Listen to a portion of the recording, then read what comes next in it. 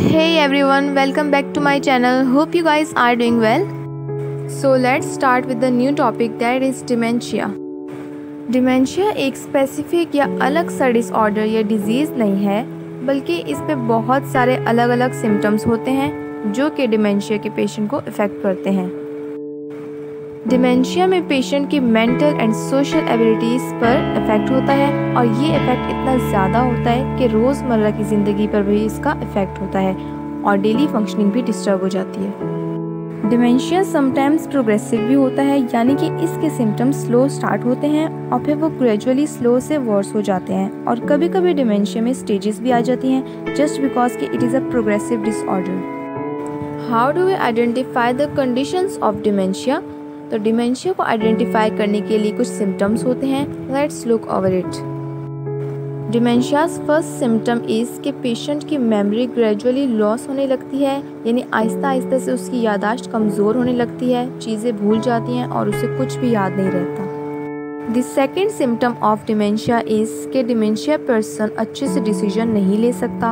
उसकी जजमेंट में वीकनेस आ जाती है और उसकी लैंग्वेज impaired हो जाती है, यानी कि उसकी लैंग्वेज भी डैमेज हो जाती है और वो ठीक से बोल भी नहीं सकता।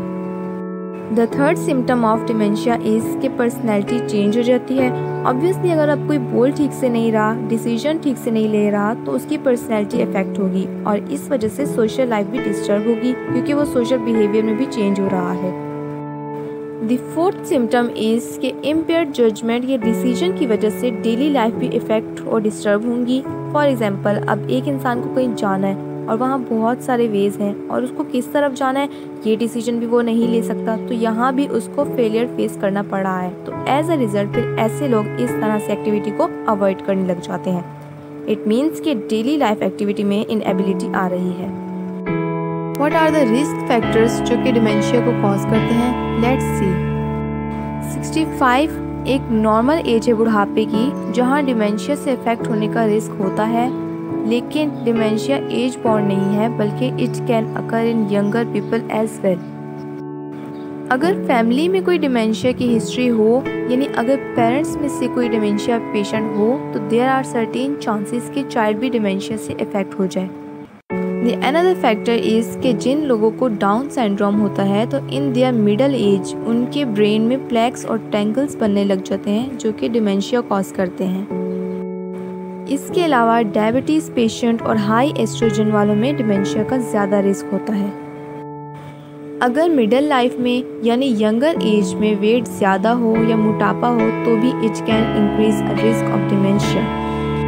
तो ये सब थे risk factors of dementia. Now let's see the common causes which can cause dementia. Alzheimer और दूसरे कुछ degenerative neurological diseases like Parkinson's disease Huntington's disease ये सब होते हैं जो कि डेमेंशिया कॉज करते हैं।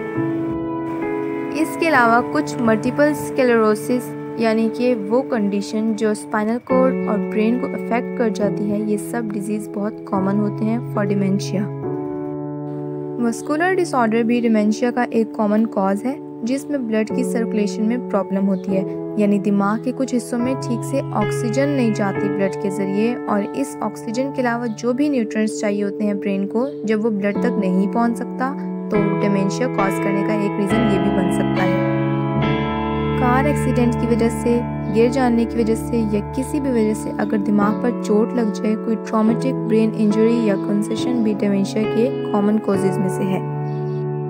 अगर कोई ड्रग एडिक्टेड हो और काफ़ी अरसे से ड्रग्स ले रहा हो या अल्कोहल कंज्यूम कर रहा हो तो उसकी वजह से भी ब्रेन इफ़ेक्ट होता है और after some time it can cause dementia इसके अलावा hydrocephalus is the fluid in the brain area किसी भी तरह का इश्यू हो हाइड्रोसिफेलिस में या फ्लूड में तो it can be common cause of dementia brain has many parts इसी तरह से डिमेंशिया भी डिवाइडेड है. इसकी डिवीज़न इस बेसिस पर है कि कौन सा पार्ट इफेक्टेड है. There are two types of dementia cortical dementia subcortical dementia cortical dementia cause होता है जब सेरिब्रल कॉर्टेक्स यानी ब्रेन के आउटर लेयर में कोई प्रॉब्लम हो। और दो सेरिब्रल कॉर्टेक्स एक अहम रोल प्ले करता है अटेंशन लैंग्वेज मेमोरी परसेप्शन और कॉन्शियसनेस में। जिनको कॉर्टल डेमेंशिया होता है, उनकी मेमोरी लॉस्ट हो जाती है, यानी कि वर्ड्स को अंडरस्टैंड करने में बहुत मुश्किल होती है। Alzheimer and Jakob disease common cause होते हैं कॉर्टिकल डिमेंशिया के। सब कॉर्टिकल डिमेंशिया कॉज होता है जबकि ब्रेन के किसी पार्ट में कोई इशू हो, यानी कि कॉर्टेक्स के अंदर के पार्ट में इशू हो। सब कॉर्टिकल डिमेंशिया में लोगों की स्पीड ऑफ़ थिंकिंग में इशू होता है, यानी कि वो कोई भी काम जल्दी से सोच नहीं पाते या कोई एक्टिविटी भी जल्दी नहीं कर पाते।